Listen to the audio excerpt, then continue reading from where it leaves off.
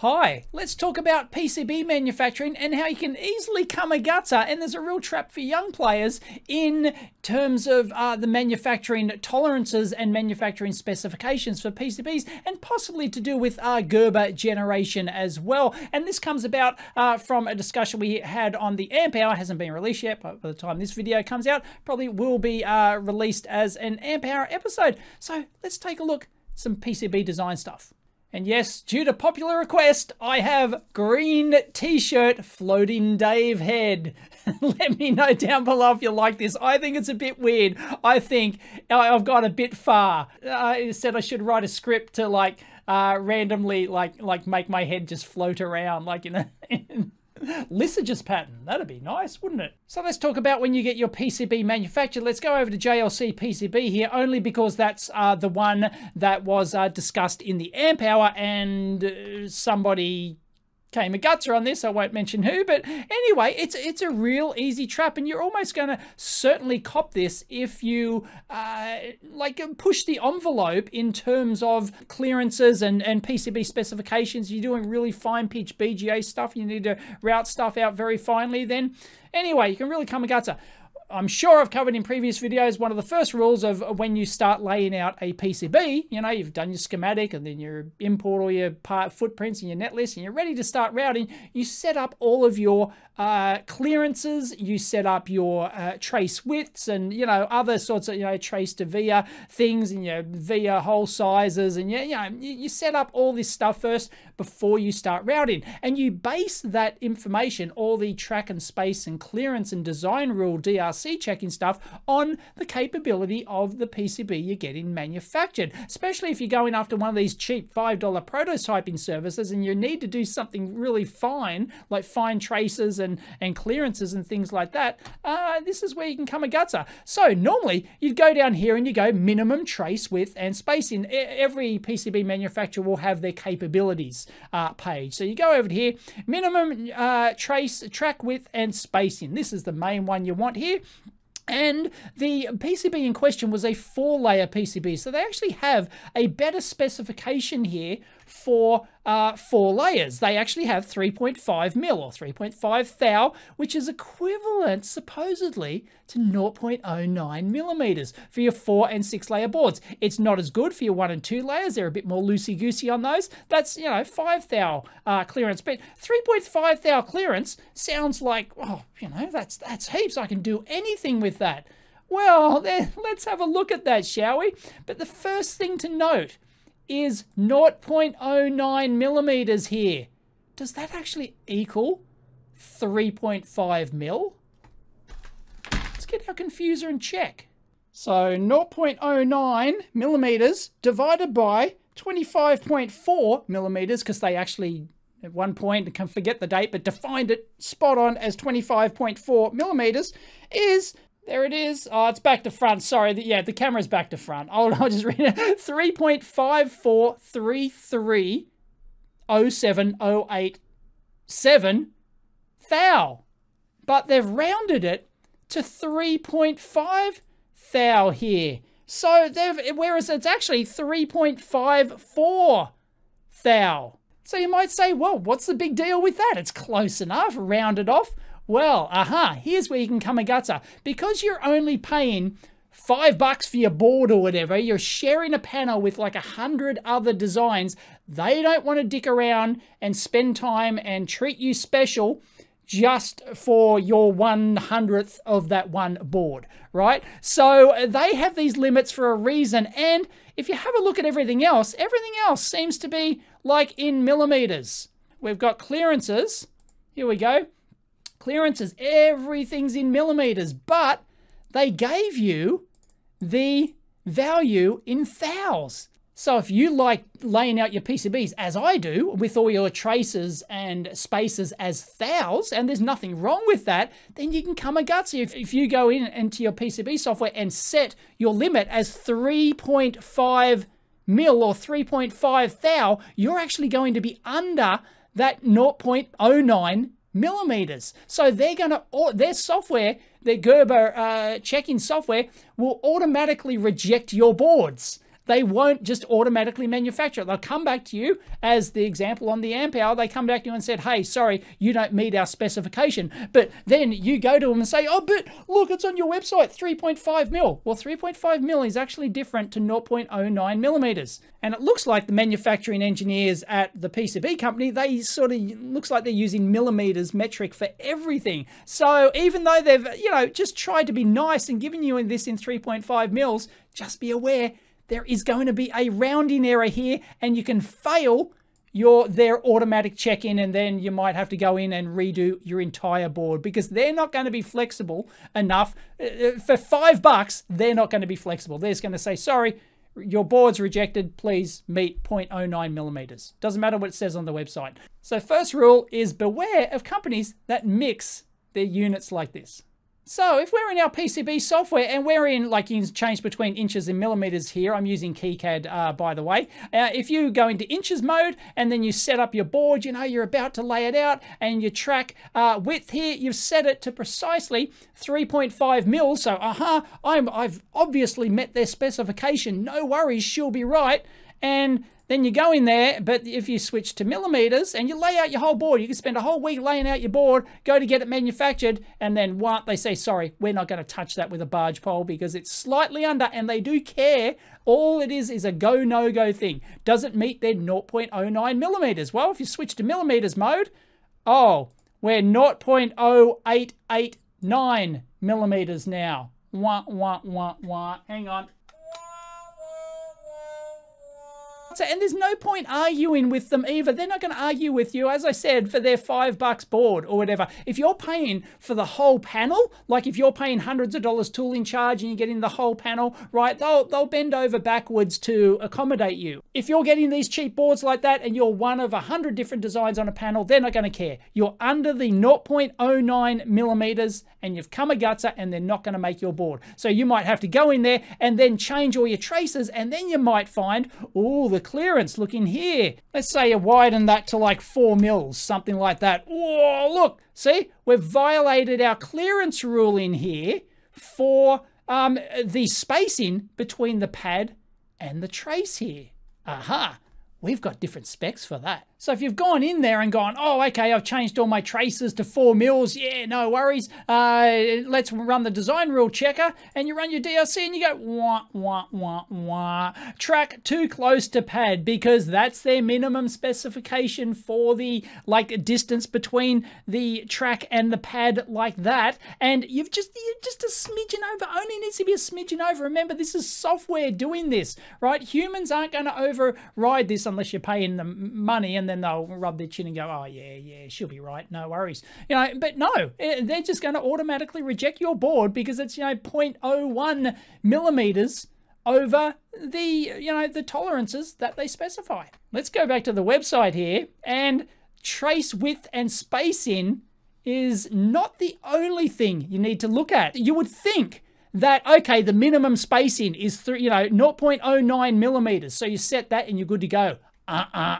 Look at this, right? These are their minimum. They've also got minimum clearances for all different types of geometries, and they can be out by large values too. Let's have a look at this. So let's have a look at the difference, uh, the minimum spacing between a track and a pad, which is actually what we've got here. We've got a, a pad and a track on our BGA chip. 0.2 millimeters. So much for your 0.09 millimeters.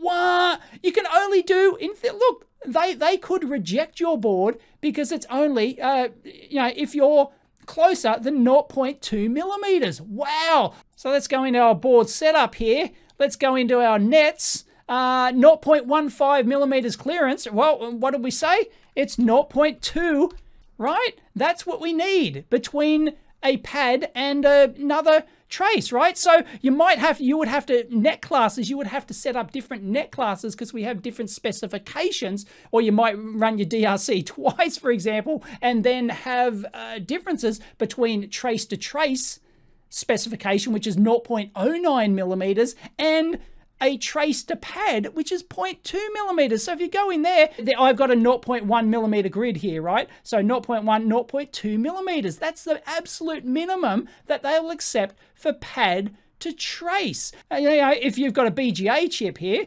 right, you can't route out these traces like this. Uh, this just assume that this trace is actually connected up there. I can't do this because I don't have a schematic. There's no net list. And it looks like in KiCad, you can't manually input a net list like a, a generate a new net on the PCB to join this track to this track manually. Anyway, doesn't matter. So just assume that that's that you wanted to route uh, these traces out here between the pads like this.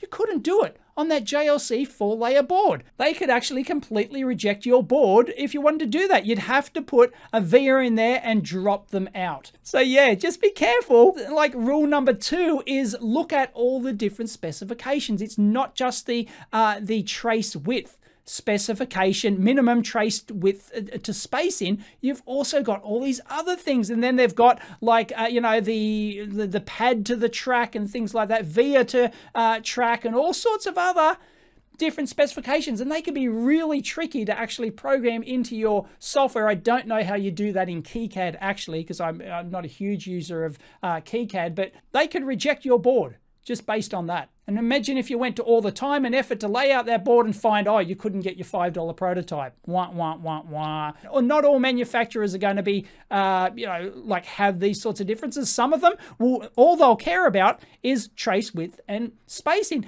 And technically, there's no manufacturing etching process reason why there should be a difference in the specification between the, a track, a copper track and a copper pad and two traces like this, just two traces separated apart. In fact, that technically the requirement's more stringent for the two traces parallel like this because you could have two traces running right across your board like that and they're only like, you know, 3.5 thou 0.09 millimeters actually between them and you just got to etch out that little tiny slither of copper whereas a track to a pad is like technically, it's only that one little bit there. So what's going on here is it must be uh, to do with drill tolerances because a pad, typically this shows a hole. So it's there's going to be drill tolerances, drill wander and drill uh, tolerance. They can, you know, a little skid off a little bit and you can potentially get breakouts in your pad. That's why you need minimum annulus rings on your vias and your pads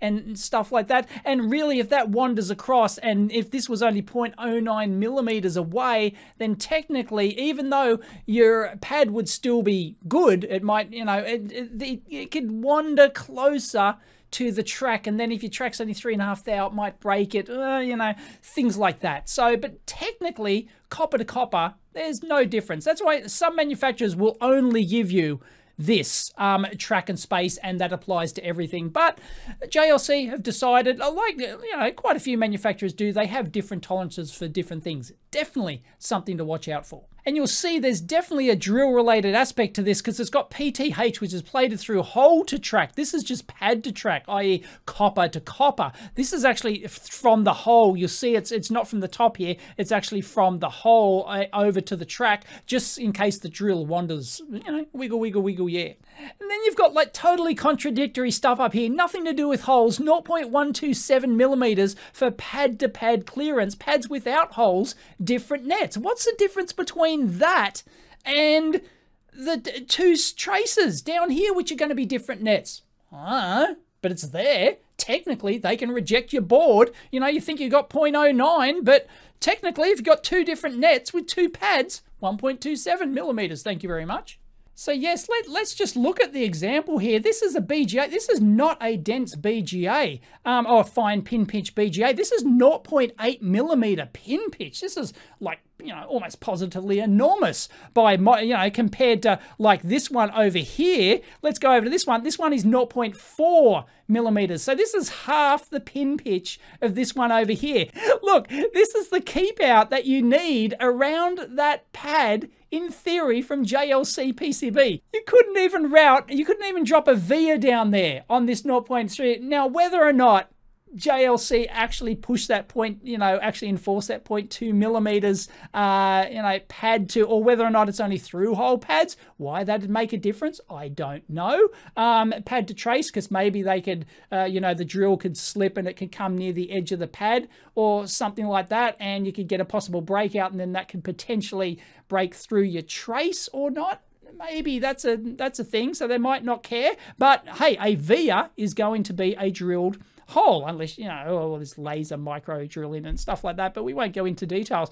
Like even at 0.1 millimeters, okay? Look at that. Oh, yeah, you'll just have a room for a via in there, maybe.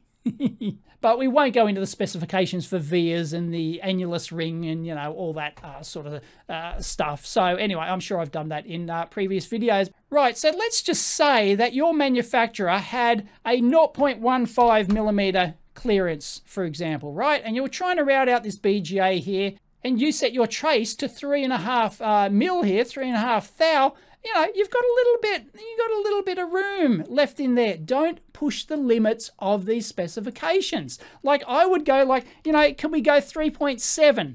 Something like, yeah, we can easily go 3.7 and still we're not going to come a gutter on those clearances. So don't push the limits. Just because the manufacturer says you can do 0.1 millimeter uh, trace or 3 thou trace, don't do it unless you absolutely have to and you're absolutely careful about your metric and imperial units and the conversion to and from. Now, there's actually another way that you can uh, Kamagatsu here, and that's actually when you generate uh, Gerber files. It's not really going to be a problem in KiCad here, but it can be in other software. When you plot your Gerbers, most packages are going to give you the option, uh, they call it the coordinate format, but really it's it's resolution. It's how many digits of resolution you're going to export in, into your Gerber files. Now, uh, KiCad give you two only two options here, which is good, as we'll see in a minute. Uh, 4.5, uh, 4.5 or 4.6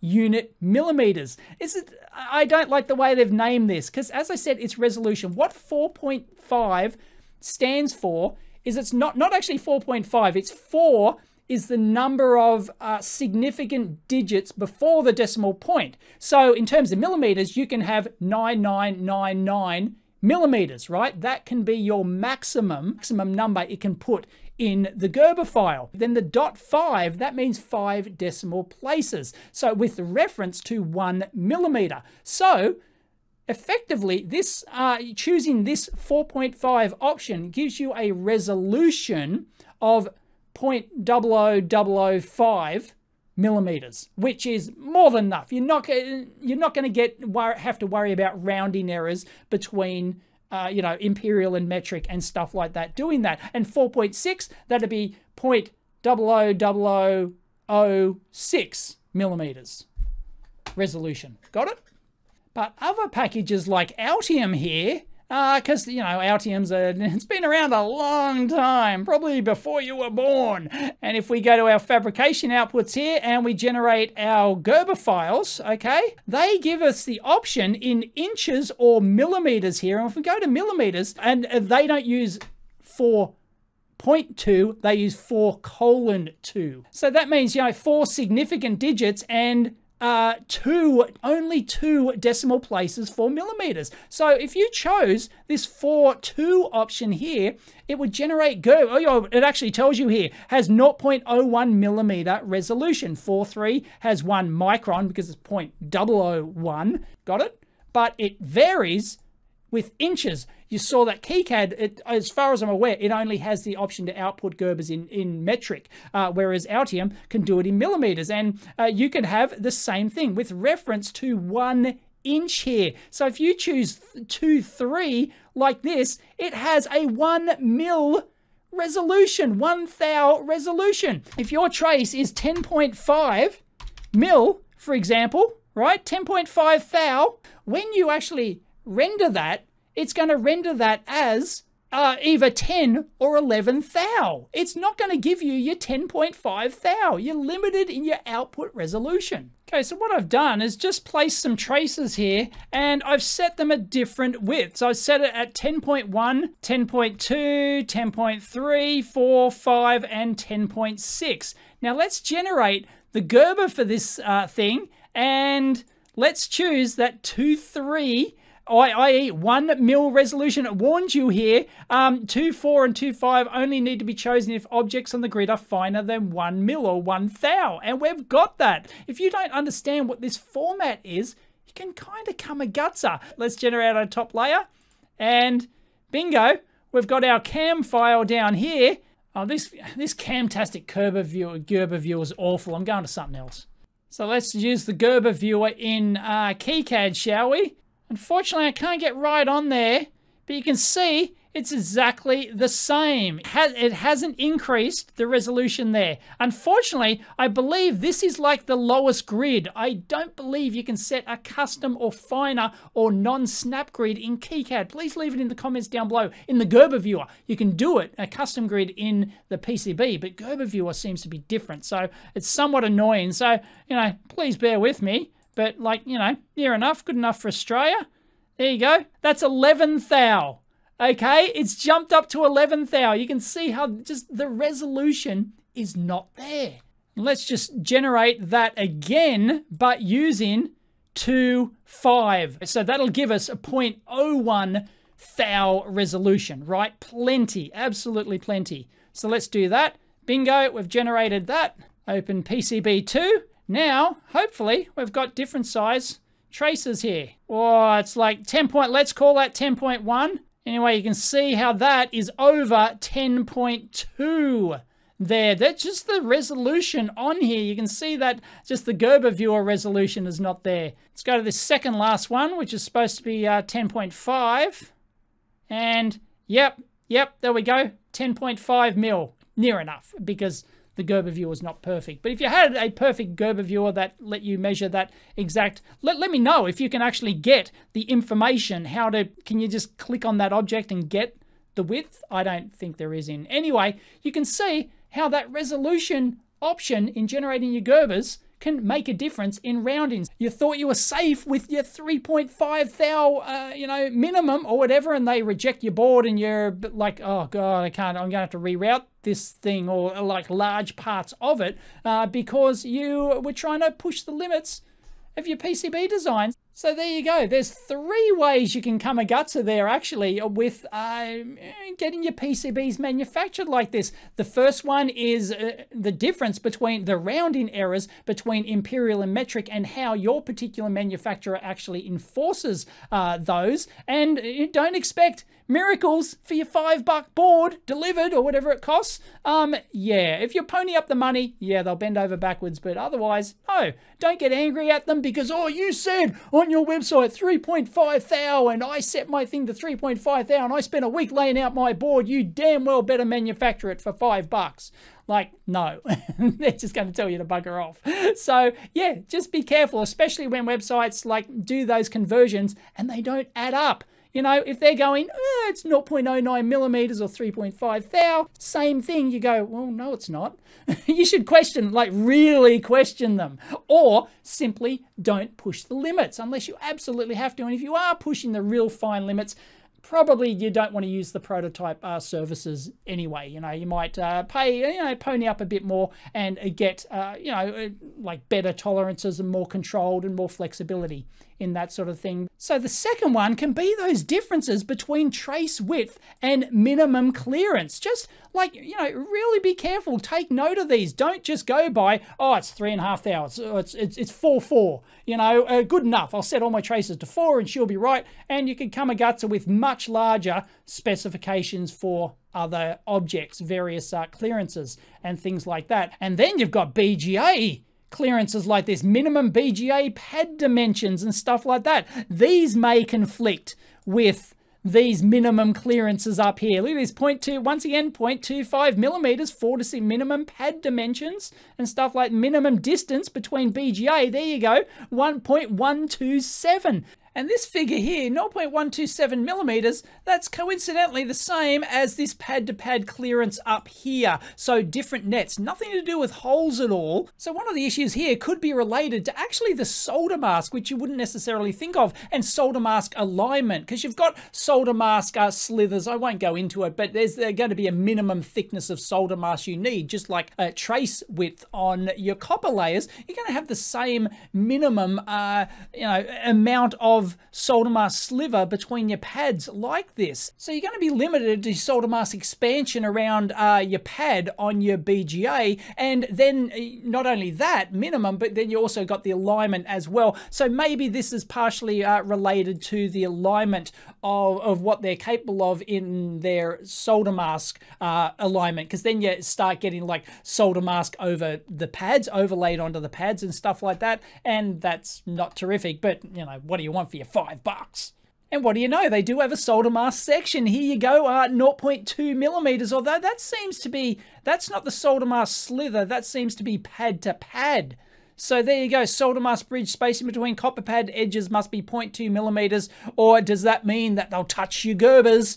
Um, and like if you don't have the minimum solder mask expansion, they'll expand it for you or something like that, or you've got too much and they'll uh, reduce it. Mm, don't like that. Don't like any company touching my Gerbers, but you may not have a choice when you're using one of these prototype service panels. When you're paying for the whole panel yourself, you can demand things, but not when you design, not when you use these, you know, five bucks for your five boards on your prototype panel. Nah, you get what you get. As we teach our kids in preschool, you get what you get and you don't get upset.